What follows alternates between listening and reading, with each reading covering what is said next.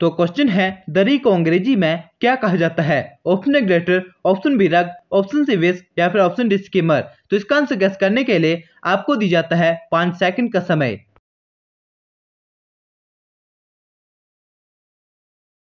तो इसका आंसर होगा ऑप्शन नंबर बी रग दरी को अंग्रेज़ी में रग कहा जाता है। तो कि इससे पहले आपको इसका मीनिंग पता था कमेंट करके ज़रूर बताएँ और ऐसे अधिक वीडियो के लिए हमारे चैनल को सब्सक्राइब ज़रूर कर ले और बेल आइकन को प्रेस करना ना भूलें, जिससे कि आपको आने वाली सभी वीडियो की नोटिफिकेशन टाइम टू टाइम मिलती रहे। हमारी मुलाकात होगी आपसे अगली वीडियो में, तब तक के लिए हेल्प बेटा, देखते रहिए और सीखते रहिए। धन्यवाद।